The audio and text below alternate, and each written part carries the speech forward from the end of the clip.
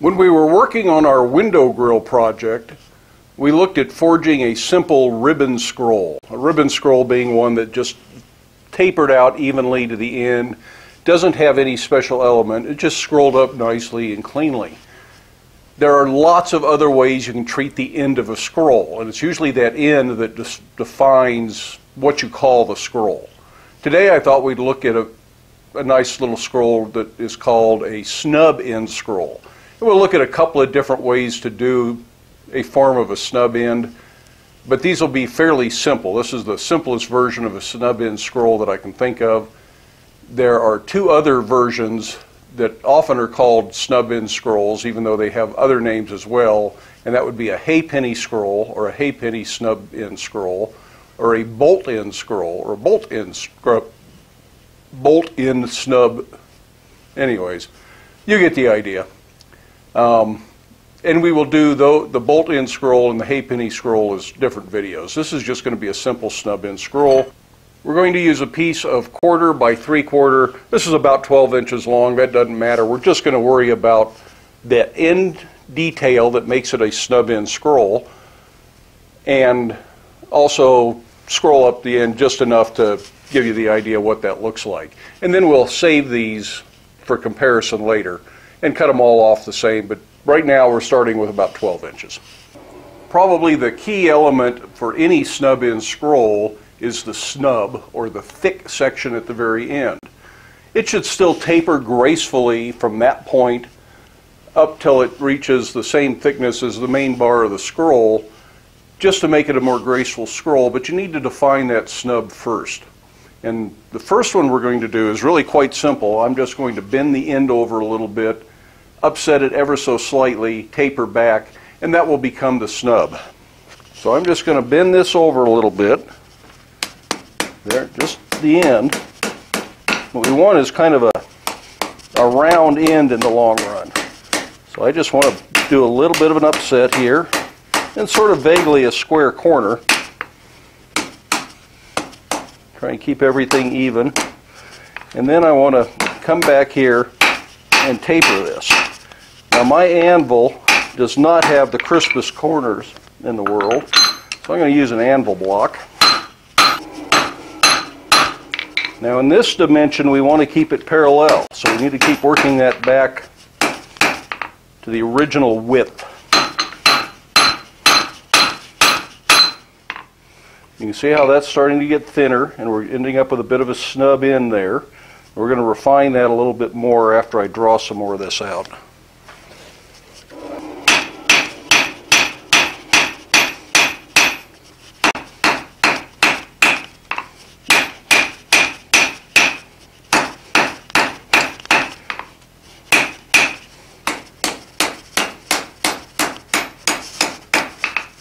And ultimately that snub is going to be kind of a round area. And kind of see what we're going for here. I may end up with a little cold shut there, but there's no stress on this, so it's not really going to hurt anything.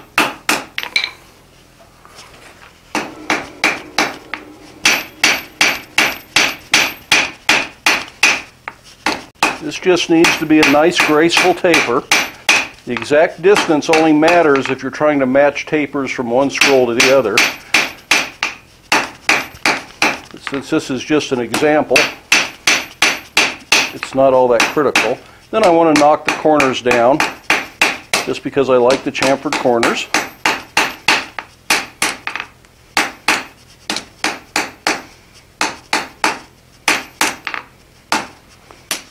Then we'll take another heat and refine that little snub end right there just a little bit cleaner.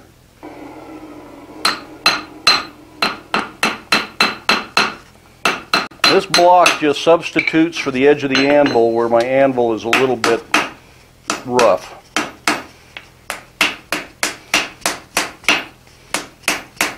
I'm trying to work that back in so it looks like a nice round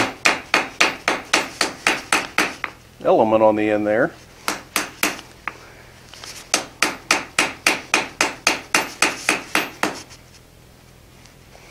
It's still a little bit washed out right there in the corner.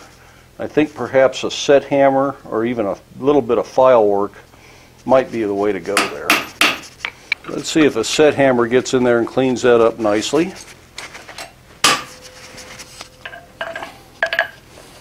My set hammer has one set of edges that are nice and crisp and one set that are rounded. So I'm going to use the crisper side here.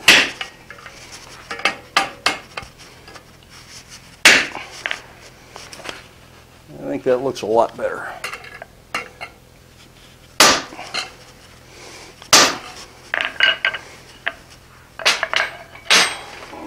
So that's a lot cleaner looking. We'll get a, another good heat and we'll start working this back a little bit more and then we'll roll the scroll up. So we just want to roll the snub up so it's kind of part of the scroll and not just a blob sitting on the end. And we'll start scrolling by hand and by eye at the anvil. And makes a nice place to hook into the scroll form. We lower it down in the scroll form as we go around. We'll need another little heat there, but that's coming out very nicely. We'll put that back in the scroll jig and we'll pull it around just a little bit more. Sorry for stepping in front of the camera. And that's a good sample of how that scroll can look.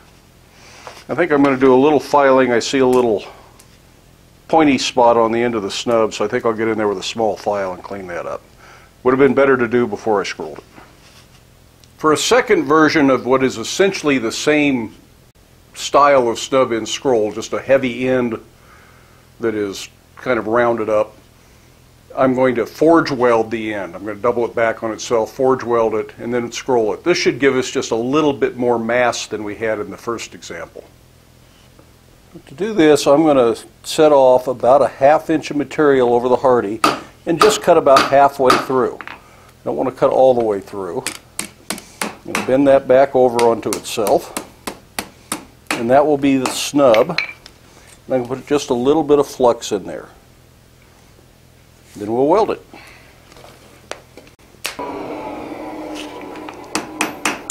We just want to weld this lightly. We don't want to take any extra mass out of it by overworking it. And I'm going to thin the end again just like I did before. As you can see I've got a lot more mass here. To start rounding that up as I refine the weld edge.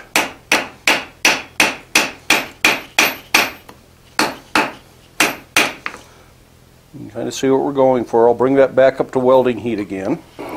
Refining this at welding heat just helps to ensure that you don't shear the weld off. And everything else at this point is pretty much the same.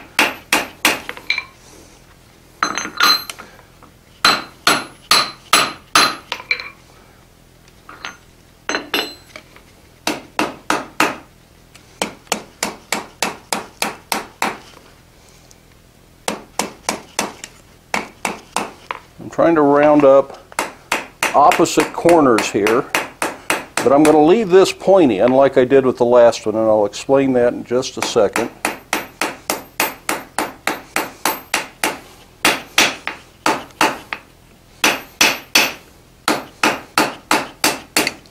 That tapers out nicely, so we'll chamfer the,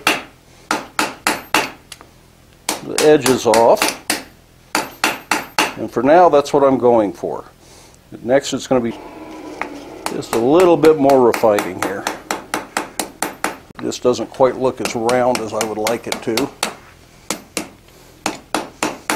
Now I'm going to stand it up on edge and now I'm going to work that part that I left a little pointy to get this to tuck down nicely and form a nice scrolled in. If we had rounded that to start with, it would be oval now instead of rounding up. So we left a mass where we wanted it so that it finished the way we wanted. Hope that makes sense.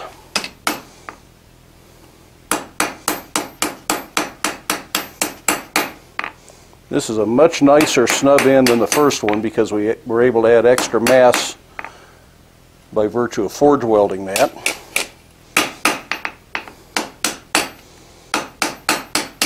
If you watched my first forge welding video where we discussed a faggot weld, which is essentially stacking a bundle of things, in this case it's a bundle of two, but that's what this would be as a faggot weld.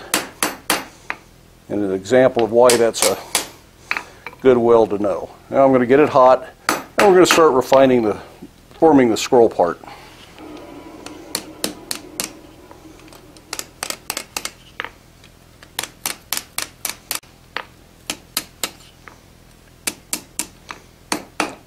Make sure you watch this from both directions so you can see how it's scrolling up.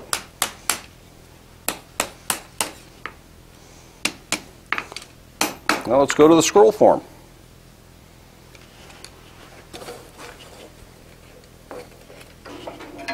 Just like before, we'll hook that on the, the form. We'll bend it around, or pull it around is a more correct term. As it starts to get a little cold, we can use a bending fork to help this some. Um, hopefully my arm's not in the way. But I think I'll get it hot to fin finish that. You don't want to try and bend it too cold or you end up putting some kinks in it.